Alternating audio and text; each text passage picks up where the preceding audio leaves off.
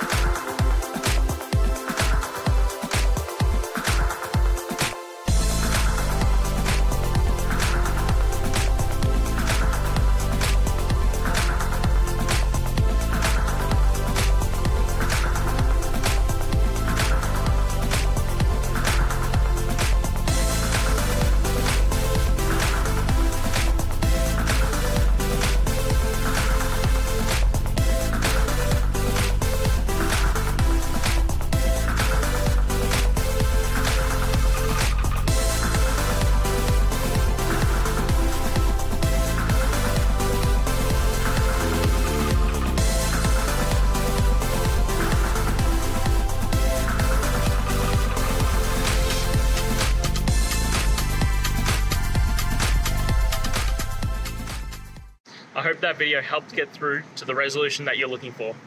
If it did, please hit subscribe. I really appreciate it. And until next time, I hope you have a great one. Cheers.